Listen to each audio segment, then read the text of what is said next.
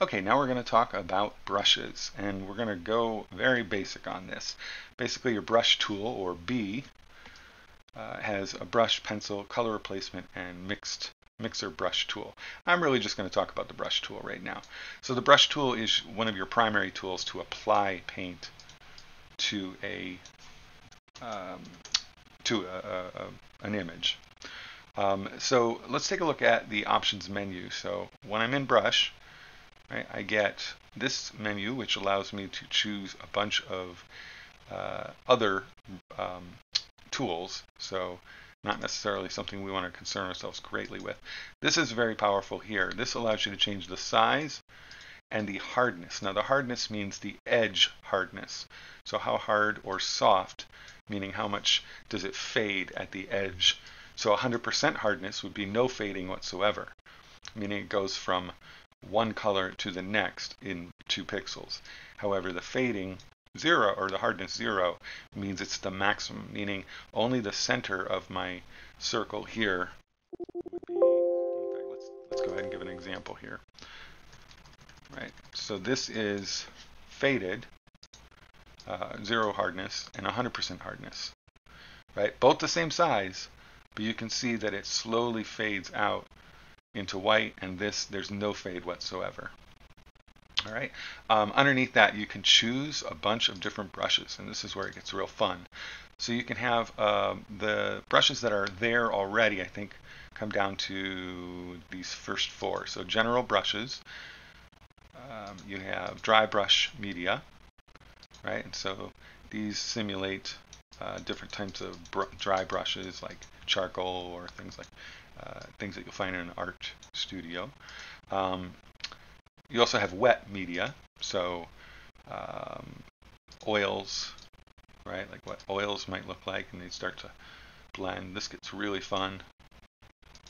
Um, you also have special effects, right? And special effects can get kind of crazy. Um, this is a yeah, I think I went overboard on this one. there we go. Um, special effects are, you know, just these different kinds of brushes that are preloaded here. Um, but what's really great is this little uh, gear. If you click it, okay, you can rename brushes, delete brushes, you can import brushes, and that's where it gets a lot of fun. So one of the places that I recommend going is to brusheezy.com. Uh, and so Brusheezy does some really cool things. Uh, they allow you to download some real brushes for Photoshop. And so let's just go and take the click on the smoke here. Uh, most of them are free. Um, some of them are not so free. So I think I clicked on it here. Nope, there we go. So gotta wait four seconds and five seconds and then it downloads. And so I'm just going to go ahead and go right to that folder. Okay there's my folder. And what you'll find is an ABR file. And what's really great is now you just have to double click on the ABR file.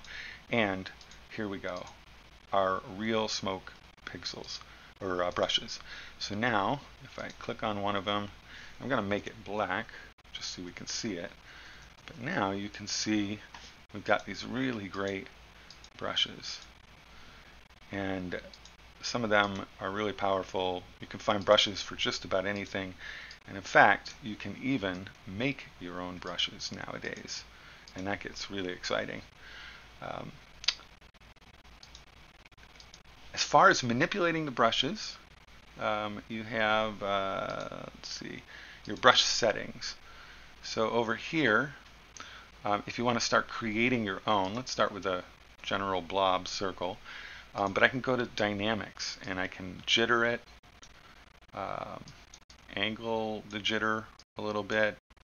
Um, you can scatter, and this is where it starts to like kind of get crazy.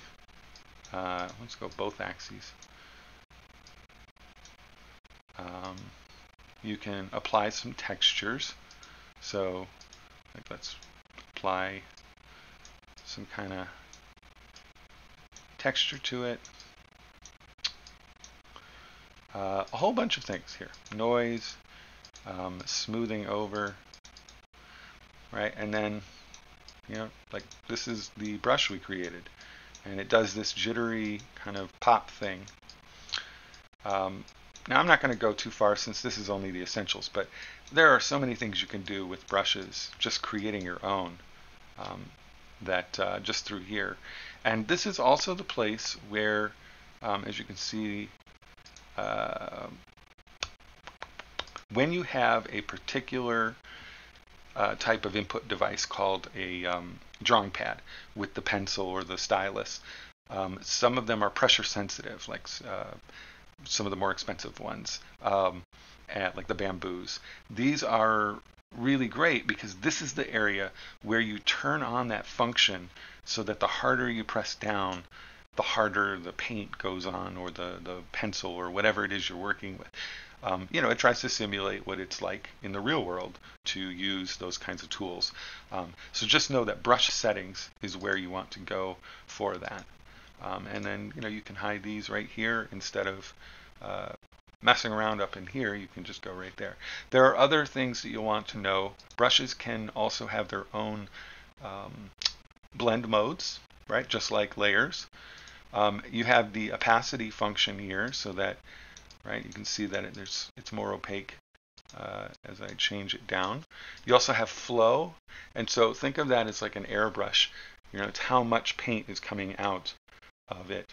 Um, flow and opacity often get um, kind of uh, grouped together, but they are different. Um, you know, they are they are different uh, functions. Um, and then smoothing, I don't know if I've ever used smoothing a whole lot.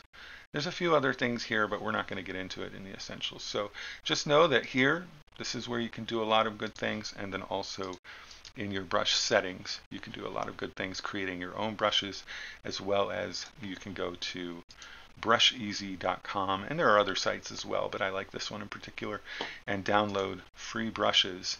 Um, and you can see there are all sorts of you know snowflakes, all sorts of different brushes that are there for free for you to use. All right, that's about wraps this one up.